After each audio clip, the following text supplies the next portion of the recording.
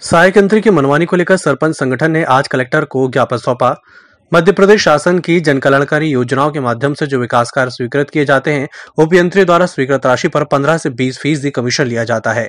सहायक यंत्री राधेश्याम कोरी द्वारा सरपंचों ने 5 से 10 प्रतिशत कमीशन लिया जाने के बाद ही प्रकरण को पोर्टल पर वेरीफाई किया जाता है। यह आरोप लगाते हुए सरपंच संघ के सदस्य जगदीश प्रसाद वर्गा, सरपंच ग्राम पंचायत सेमली, जदीद पर सहायक यंत्री राधेश्याम कोरी द्वारा कर्मचारी संघ द्वारा झूठा आरोप लगाकर ज्ञापन सौंपा गया। आज दिनांक तक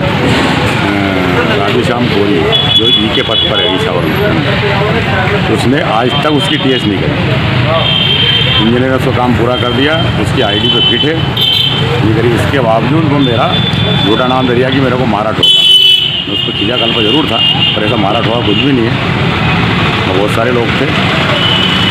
तो मारा ना, ठोका है। विज्ञापन देता फिर जगह जगह। इछावर से ईएमएस टीवी के लिए शिवराज सिंह राजपूत की रिपोर्ट।